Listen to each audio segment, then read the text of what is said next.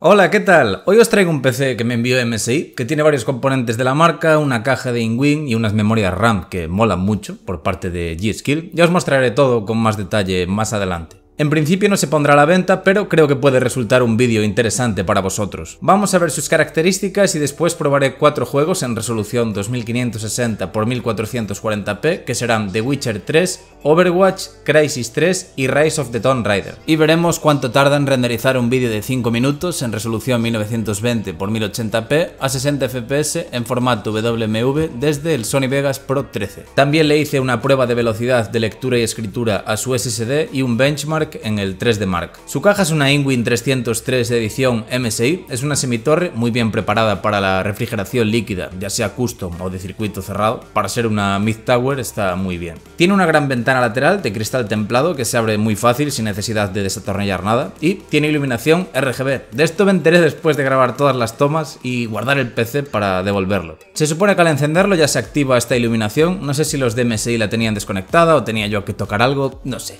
El caso es que como no sabía que disponía de esa función, pues al guardarlo no pude grabarlo. Como conexiones en la parte frontal tenemos dos USB 3.0, dos USB 2.0, un jack de 3,5 mm para conectar un micrófono y otro para unos auriculares y también están el botón de encendido y el de reinicio. Por la parte trasera hay dos USB 2.0, un puerto PS2 para un ratón o un teclado, un DVI, un USB 3.1 tipo C, 5 USB 3.1, un HDMI, un RJ45 y las conexiones de audio. Esto en la placa base. En la tarjeta gráfica tenemos un DVI, un HDMI y tres conexiones DisplayPort. Vamos con los componentes. Su procesador es el i7 7700 de 4 núcleos con una frecuencia de 3,6 GHz y 4,2 GHz como frecuencia turbo. Viene refrigerado por un kit de refrigeración líquida de un radiador, el Corsair H55. La tarjeta gráfica es la GTX 1070 Armor de MSI con 8 GB de memoria GDDR5. Cuenta con 16 GB de RAM G-Skill Trident Z RGB, que por cierto estéticamente me gusta mucho. Sus frecuencias son de 2133 MHz.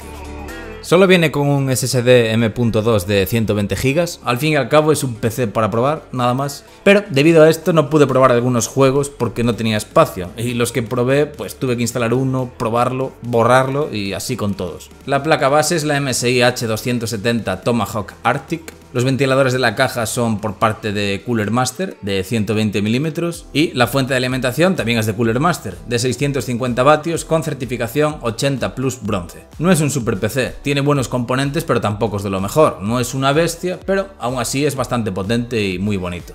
Vamos allá con las pruebas, aquí tenéis el resultado del test de lectura y escritura a su SSD el resultado de la prueba en Sony Vegas 13, este es el vídeo que usé, su duración es de 5 minutos, tiene varios cortes y transiciones y un audio, como si fuese un gameplay básico para YouTube.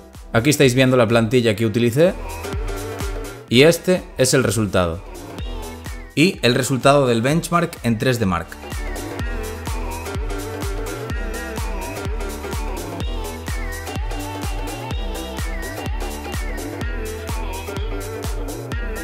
Ahora sí, vamos con los test a videojuegos. Empezamos con The Witcher 3, está todo puesto al máximo, menos el anti-aliasing del Nvidia Hardware, que está desactivado. Funciona bastante bien, va a 50 y algo FPS de media, supera los 60 y lo máximo que llega a bajar es a unos 52 frames por segundo. Aunque hay que tener en cuenta que estoy capturando el juego con Shadowplay y esto puede bajar de 2 a 3 FPS. En cuanto a temperaturas, trabaja unas bastante buenas y más teniendo en cuenta que la temperatura ambiente era de unos 30 grados. Voy a poner cada juego 3 minutos, como veis arriba a la derecha tenéis un contador que cada vez que llega a 3 minutos acabará el vídeo del juego correspondiente y empezará el siguiente. Abajo la descripción y en un comentario fijado tenéis el minuto en el cual empieza cada título por si queréis acceder directamente a la parte donde pruebo algún juego en concreto.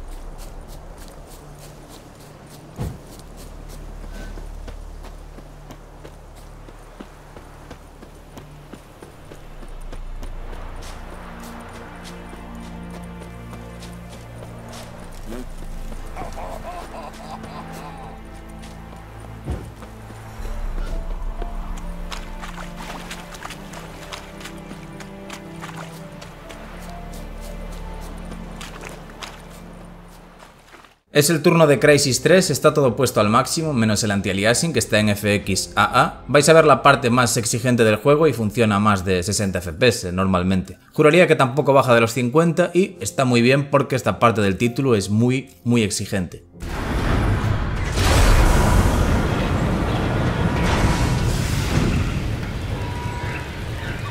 Ahí está, la cúpula de la libertad. Es como estar metido en un sobaco sudado. Dentro del traje no te darás cuenta, pero hace más calor que en Las cosas cambian. Así es como empezó todo. La gente se apuntó a Shell en busca de energía barata. Shell generaba energía gratis. Y nadie puede competir contra eso. En poco tiempo tenían el monopolio.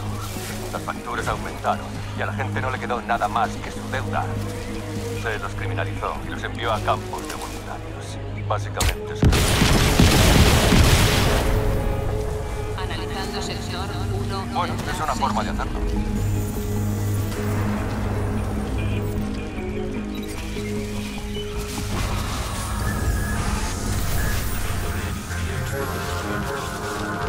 ¿Eh? ¿Qué ocurre? Nada, solo una subida de tensión. Se ha ido. Analizando sector 1 Delta 7. Bien, os explicaré cómo funciona esto. Yo indicaré las posiciones en cuanto las detecte, como esta en el sector 1 del tablero. Son ubicaciones potenciales de depósitos. Nuestro objetivo principal es la torre 3 Delta 3. En cuanto consigáis el material, nosotros liquidaremos a ese cabrón. Sector 1 Delta 3, todo en orden. Allí, sector 1 Delta 0. Delta 2, tengo algo. Baja intuito y alejaos del campo de visión de la torre. Suponía que era obvio. Me que no.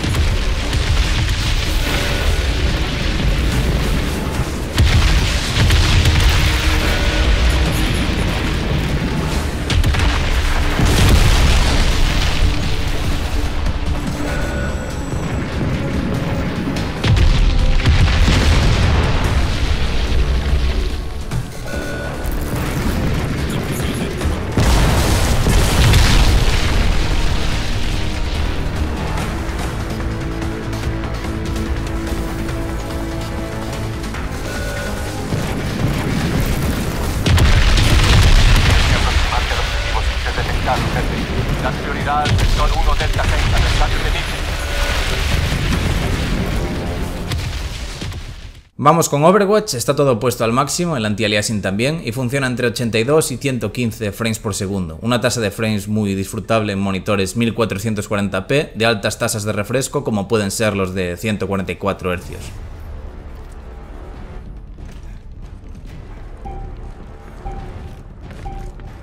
El objetivo está activo.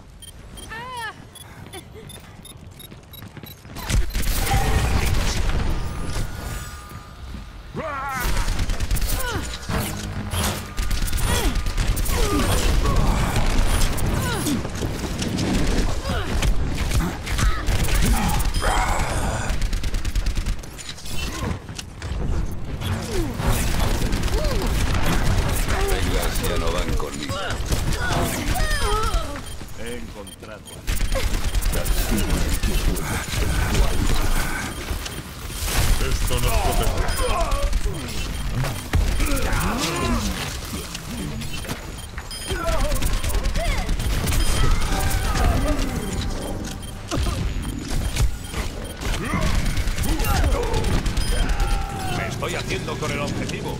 Venid. Salud. Ah!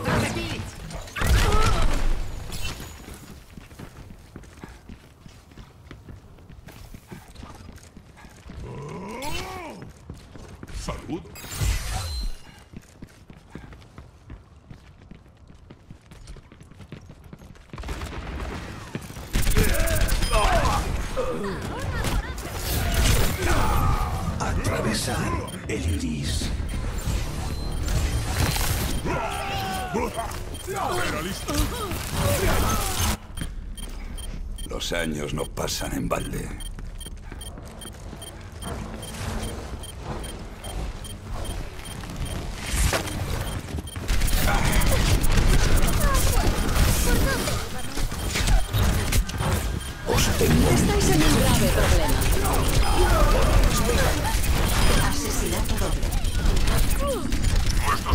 Están tomando el punto.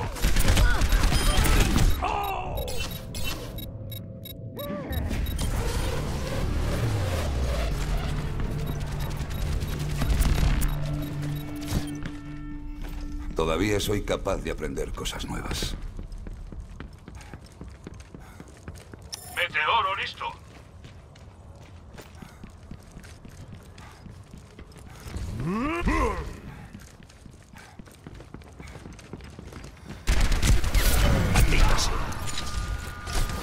¿Alguien necesita curarse? Y por último, Rise of the Tomb Raider está todo puesto al máximo, menos el anti-aliasing que está en FX AA y está funcionando bajo DirectX 12. Este ya le cuesta un poco más y baja hasta los 45 FPS más o menos. Y eso es todo, espero que os haya gustado y a los suscriptores deciros que si queréis estar al tanto de los vídeos que vaya subiendo, dadle a la campanita que hay al lado del botón de suscribirse y activad las notificaciones. Ah, y si queréis saber lo que estoy haciendo y todo lo que me llega a casa, seguidme en Instagram y Twitter, tenéis los enlaces en la descripción. Más, hasta el siguiente vídeo. Chao. ¡Eh! Incluso si no encontrásemos nada aquí arriba, tu padre estaría orgulloso. Lo sé, pero tengo un buen presentimiento.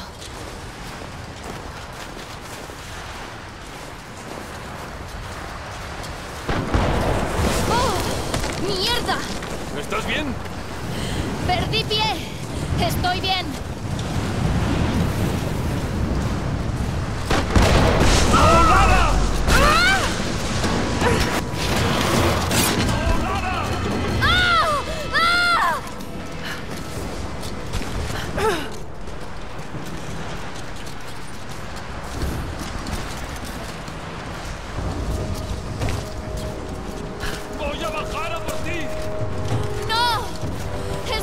Peligroso!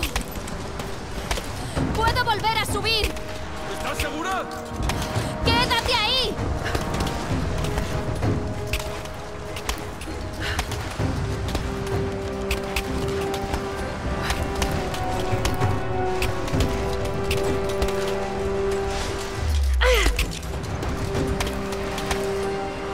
¡Tengo que saltarlo!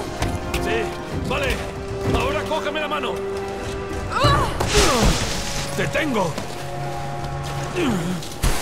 ¡Mierda, Lara! Vas a hacer que me dé un infarto. ¿Estás bien? Sí. Vamos.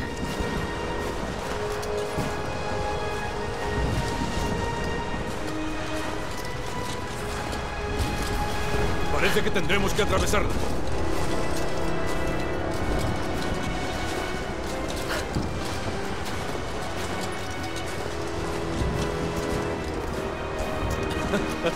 No está mal. Si el tiempo empeora, podemos refugiarnos en esa cueva. ¿De verdad crees que encontraremos la ciudad perdida? Sé que es una posibilidad remota, pero ese viejo rastreador dijo que había visto ruinas en lo alto de estas montañas.